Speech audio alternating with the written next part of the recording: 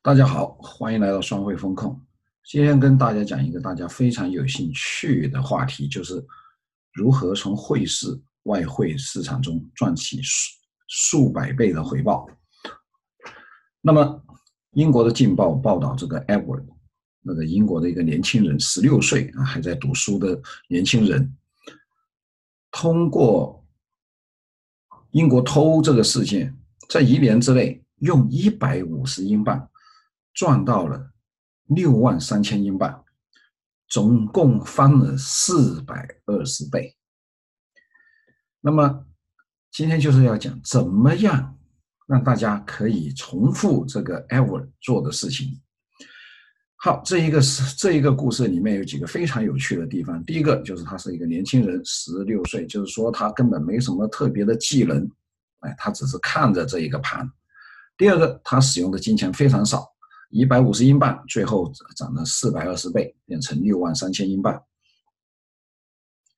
这个故事里面就是跟大家说，只要大家有兴趣的话，不管你的出身身份，还有受的教育啊，工作经验，或者是你有多少钱，都是可以短时间内暴富的。不仅艾我有这个故事，很多我们在这个。这个什么朋朋友圈里面常常会看到，谁谁谁又赚了多少倍，谁谁谁又翻了多少番。那么包括有一些专业的人员都会说，他可以在一个星期之内赚二十倍。啊，我们常常可以看到这样子啊。我们暂时不说那些呃某某名人啊，用几万块钱起家，最后管理数百亿的资产的这些，我们就是我们身边常常看到这种以小博大的故事。那么我们就是说，哎，那个可以赚二十倍，我把它打个折扣，就是赚它赚十倍好了。一个星期赚十倍，一两年有一百零八个星期，一百零八个星期，我是说你只要有五个星期可以赚十倍啊，这这这段时间你别的时间都不赚，就五个星期，那么你从一千块钱开始，第一次十倍变一万，第二次十倍变十万，第三次变百万，第四次。就变成千万了，就是说你一年之中只要有五个星期这样子做的话，你这一千块钱啊，就是四个星期啊，不是五个星期，啊，一千块钱就变成一千万了，不得了啊！这个这个他这个再翻一个四百多多倍的话，那就是大富翁了。问题是，所有人可以觉得这个事情可以实现吗？当然是不确定的。那么好，我现在跟大家讲，这一个人，我教大家如何从汇市中赚数百倍，就是一个字，赌。那个答案就是赌。为什么我说他是赌？是因为这个会市里面大家都不确定他到底可不可以赚钱。对，有人是一下子就赚了几十倍，哈，数百倍。那么可是一下子他又不见了。那这个不确定性就提供了很大的刺激的乐趣了。这个刺激，而且是用真金白银的。你一下子做得好的话，你赚个几百倍，非常开心。一下子又跌落到谷底，高高低低，起起伏伏，这个过这个过程非常非常有娱乐性，所以大家乐此不疲。你看，我看那个报道之中说，这个年轻人已经有个黑眼圈了。那么下面。就有很多网友回复说：“哎呀，你看做外汇，不管是英国人呐，都是要熬夜，熬夜就熬出黑眼圈来了。”哎，这里面有个非常有趣的现象，就是说为什么他在他是一个学生，他读书之之余还要熬夜做这个事情？因为他是有娱乐性的，是一个赌博的。我们常常最近不是说九九六吗？啊，就是大家抱怨这个加班时间太长了，啊，九九六受不了了。可是。大家结束了之后，很多人下班之后回到家，马上就抱着电脑来做外汇交易。为什么就可以了？是因为工作是没有乐趣的，交易是有乐趣的。它有乐趣的原因，是因为它有不确定性，非常非常有娱乐价值。那么我们这边回头讲一个，就是说，外汇市场。呃，如果你交易股票啊、期货，它还有时间限制，八个小时之后它就不结束了。那个，外汇市场是二十四小时，每周五天半在给你交易的。你看多有趣啊！你下课就呃，下课下下工下班之后就来交易。那么我们讲一个很简单的例子哈，如果你一个星期有三次下班了就去赌场赌的话，那你百分之百是一个臭名昭著的烂赌徒。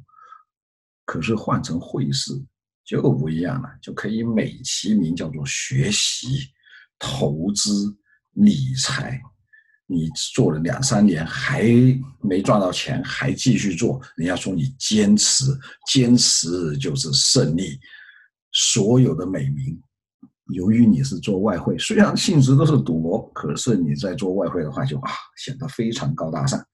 啊，不仅它这个东西显得高大上，而且还有很多推波助澜的，除了报道这些。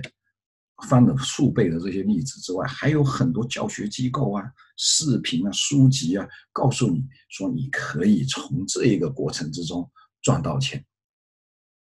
好，那么到底可不可以从这个这这一个会社中赚到钱呢？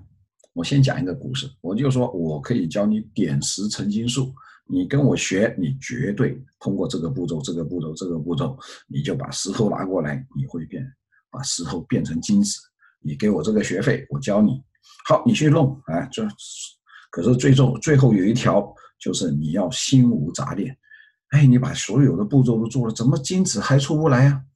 哎，我是你的教师，说你你心有杂念，所以你弄不出来。哎，奇怪了，你如果心没杂念，你会想把石头变成金子吗？这一个故事。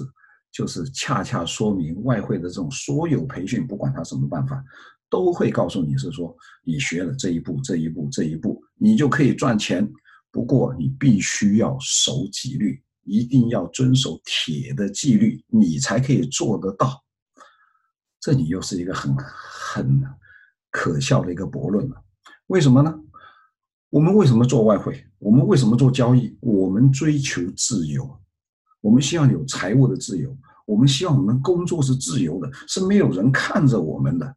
好了，现在你告诉我说你要守纪律，铁的纪律。你学完这些这些步骤之后，你有了铁的纪律，你才可以赚钱。你赚不到钱是因为哎，你这边没有守纪律，没有执行你的计划，所以你就赚不了钱了。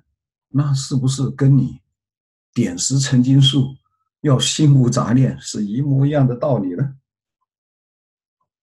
好，这边讲到这边就说，那到底外汇可不可以赚钱啊？或者交易可不可以赚钱啊？可以，可是不是铁的纪律。有程序做完之后，还最后那一段不叫铁的纪律。我现在可以跟大家说，如果那个教学的、教投资的、教这个炒股、炒汇、炒什么的这些，不告诉你说要铁的纪律，你跑掉。可是他告诉你一定要铁的纪律，你也要跑掉。为什么？我等一会再跟你说。